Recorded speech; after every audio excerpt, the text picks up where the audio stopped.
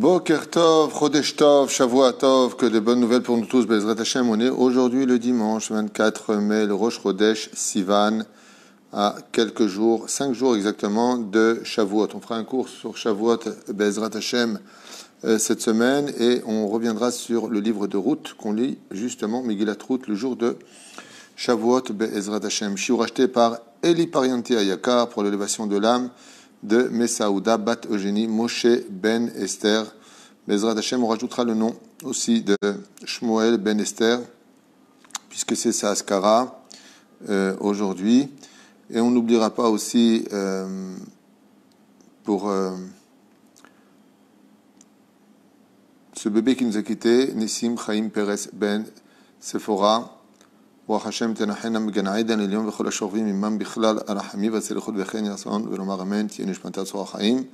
רפואה שלמה פורטו למעלת ישראל ובכללם מורת ימי הקדושה והטהורה שרת העלייה בת אפרת מרים שרה בת פני רפואה שלמה. רפואת הנפש רפואת הגוף חיה קטרין בת אסתר רפואה שלמה בעזרת השם כדבן נובל. רפואה שלמה פור שמחה בת שרה בעזרת השם כל עם ישראל. פור? חיה אסתר בת רבקה, אלנה רפא נעלה מתוך שאר בני ישראל. Et chacun de vous, donc en tout cas, Eli Parenti, beaucoup de réussite chez toi, tout ce que tu fais, Bezrat Hashem, que Kadosh Baruch te bénit sur tous tes chemins. Et n'oublions pas donc l'élévation de Messaouda Ben Bat Eugénie et Moshe Ben Esther Bezrat Hashem. Euh, ok, on est avec nos sages racontes, donc je ne me rappelle plus on était arrêté. Ken.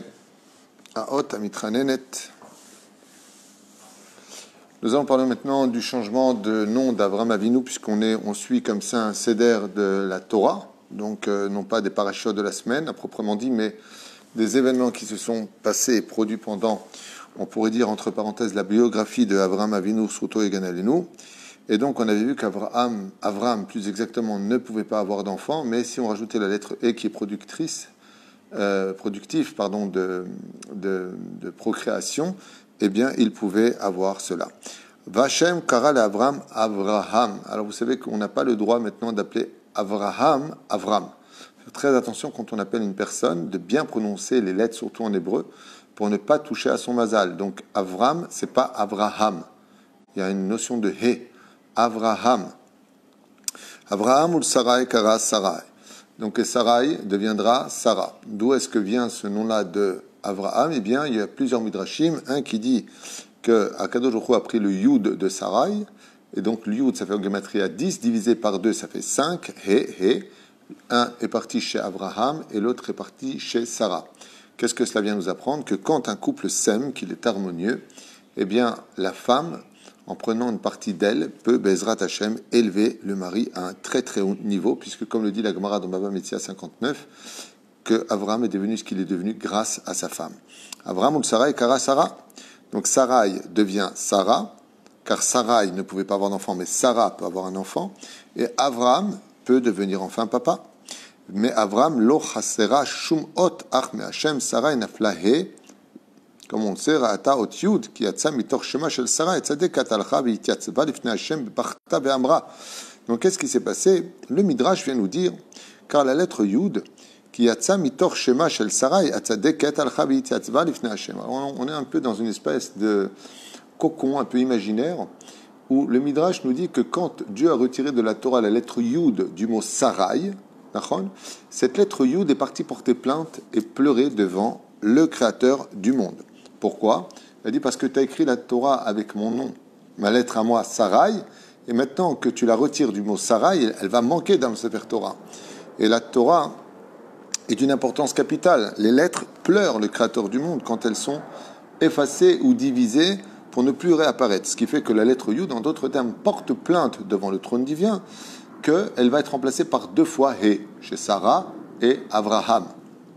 Barta Amra Hashem Elokai, maître du monde mon Dieu, Ktanani, je suis une lettre toute petite, je suis qu'un yud. ben gedolim. Et, j'ai même du mal à exister parmi les grandes lettres de, l'alphabet. Arkevan, Shekvar, Shachanti, Ptor, Paam, Shma, Tzadeket. En plus, tu me retires, dit la lettre Yud, du nom de Sarah et la Tzadeket. J'étais tellement fier d'être une des lettres, des trois lettres du nom de Sarai et tu me retires d'une telle sadeket, Anna Rabbim Rahim Ana Je t'en supplie, dit la lettre Yud. Donc de qu'est-ce qu'on parle? On parle de la Neshama qui se trouve dans la lettre Yud et qui répond à Hachem euh, Sauve-moi, je t'en prie, de, cette, de ce terrible manque que j'ai de ne plus appartenir au nom de Sarai. Donc la lettre porte plainte et elle, elle dit à Hachem C'est pas juste. Et si Moti Bishmo Shel Adam, mais. Et donc si à la limite, euh, tu. Euh, tu euh, viens et euh, que tu me retires d'un tel, d'un tel srout d'appartenir au nom d'une tzadékette comme euh, Sarah et Menou, qui portait le nom de Sarai, alors replace-moi quelque part dans la Torah, mais à une condition, dit la lettre Yud. Ça fait un peu dessin animé, mais en réalité pas du tout. Écoutez bien, c'est bien loin d'être un dessin animé.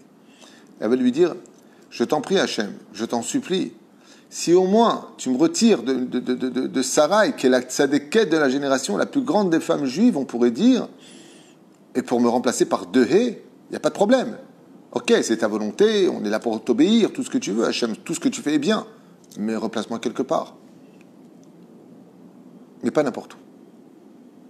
Ne me mets pas dans la lettre du mot Bilam, par exemple, ou euh, Yerovam, avec un Yud. Évite-moi d'être là-bas mets-moi dans un endroit élogieux. Tu m'as pris d'un nom d'une tzadékette, remets-moi dans un nom de tzadik. Et est-ce que vous savez d'où et comment Akdosh Baruch va replacer ce yud Étant donné que le yud est venu se plaindre parce qu'il manquait à servir le bien, il a tout de suite été exaucé. Et voilà ce que dit le Midrash. Shema Hashem tachanuna shel ot yud ve'amar la. Et Dieu a dit à la lettre yud.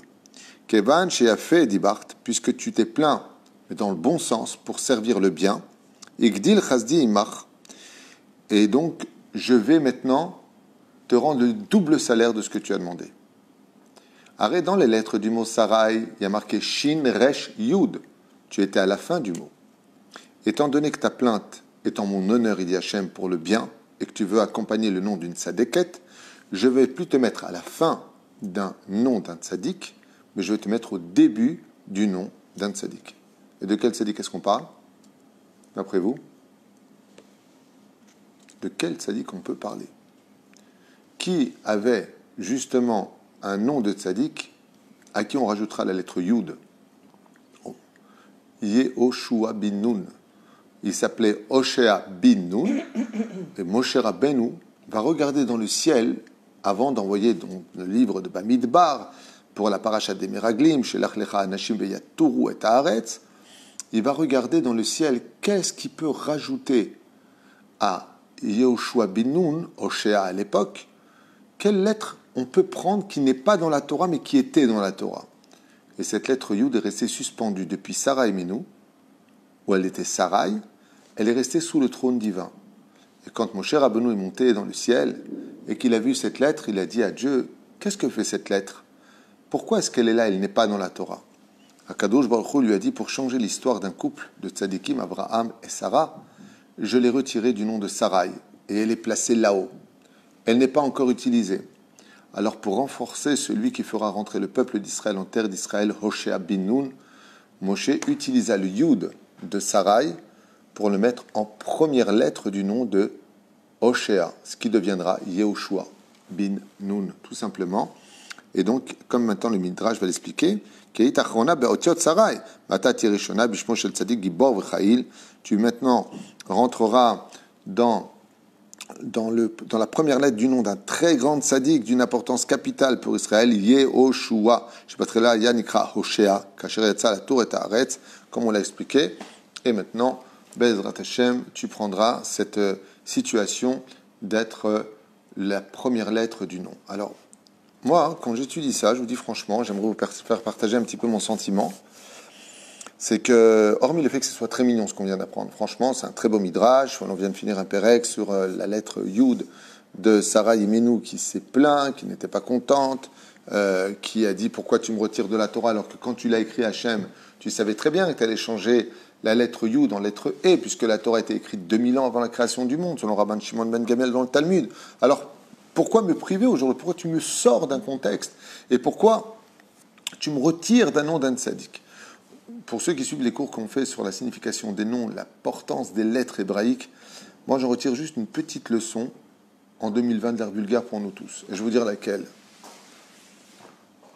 Vous savez, on prend des journaux et c'est écrit en Ktavashuri, en Israël. On rentre des fois dans les toilettes et on trouve des journaux, comme des torchons qui ont été écrits comme Laïcha. Il y a un magazine qui s'appelle Laïcha là-bas. Et pourquoi j'appelle ça un torchon C'est un magazine pour femmes, qui parle de la mode, qui parle de certaines choses, j'en sais rien. Mais en plein milieu de ce livre, à ce qui paraît, il y a plusieurs feuilles qui parlent de l'échangisme, qui parlent de comment tromper son mari, qui parlent de faire plein d'avérotes, qui parlent des sex shops. Il y a plein de pourritures comme ça qui se trouvent dans ce genre de choses. Et vous savez comment c'est écrit? C'est écrit en hébreu, mais pas n'importe quel hébreu. C'est pas active. Ce n'est pas écrit comme je vais écrire un cahier. C'est écrit comme dans le Sefer Torah. Quand on voit ce qu'on est en train de lire ici, et qu'on se rend compte, écoutez bien, que les lettres montent devant le trône divin, comme c'est marqué dans le Tikkun Azohar, pour ceux qui prennent ça à la légère, le Tikkun Azohar nous dit que les lettres voltigèrent autour d'Hachem et chacune d'elles se présenta, suppliant le ciel de commencer la Torah par sa lettre à elle. Et donc la lettre Taf, la lettre Shin, la lettre Resh, la lettre Kouf, jusqu'à ce que la lettre Bet intervint enfin pour dire Je suis la première lettre du mot bénédiction. Prends-moi pour commencer ton monde, car tout ce qui sort de toi est béni, Hachem. Quand on voit ce, ce genre de midrash, on a envie de dire deux choses où c'est vraiment important pour nous faire perdre du temps d'étudier que la lettre Yud de Sarai, c'est devenu le Yud de Yoshua Binoun, ce qui est très intéressant au niveau de la connaissance de notre peuple. D'où vient le Yud de Yehoshua? C'est très intéressant. Mais c'est historique. C'est pas si historique que ça. C'est que quand on vient d'étudier ce genre de choses, on doit prendre conscience de l'importance de ne pas rentrer des lettres hébraïques dans les toilettes. Arrête, c'est avec ces lettres-là qu'on appelle des lettres kedoshot, comme on le dit d'ailleurs euh, pendant les Shalosh Regalim, Pessar, Shavuot et Sukkot. Tu nous as choisi, parmi tous les peuples et toutes les langues. L'hébreu est la langue d'Hachem. Et donc, quand on parle, comme l'avait raconté euh, le cousin de ma femme, quand euh, il est monté dans le ciel il voyait que tout le monde priait pour euh, qu'il revienne dans son corps, pour qu'il retrouve la santé, il voyait les lettres monter les unes après les autres qui formaient des mots devant le trône divin. Comme ça, il raconte. Alors, encore une fois, les lettres sont très importantes. Et combien on doit faire attention de ne pas rentrer des journaux écrits en hébreu dans les, dans les toilettes? Si ces lettres-là aujourd'hui se plaignent devant Hachem, vous vous rendez compte? Quand par exemple il y a marqué Ouaya, Aya, c'est Yudke. Comment tu peux rentrer ça aux toilettes? Vous savez, le pire c'est quoi? C'est les gens qui écoutent votre sans vouloir vous vexer, s'essuient avec. Il n'y a pas de papier toilette, on prend des journaux écrits en ktavashuri, c'est-à-dire comme dans le Sefer Torah, on les rentre aux toilettes et on les jette dans les toilettes et on tire la chasse d'avoir chamour beyoter. Il faut savoir ça. C'est extrêmement grave, d'un manque d'un savoir-vivre inouï. Il faut vraiment avoir très peu de crainte du ciel pour faire des choses pareilles. Et c'est ça qu'on doit retenir pour moi de cela. La première chose qui m'est venue à l'esprit quand euh, j'ai vu ça avec vous, ce texte-là qu'on vient de faire ensemble, c'est que combien les lettres se plaignent et Dieu lui dit puisque tu t'es plaint pour les Tova, pour la Kedusha, alors ton nom va servir pour le Yo de Yoshua Benoun. Fais très très attention de respecter les lettres hébraïques. Chaque lettre a une âme. Et le pire, c'est pas ça.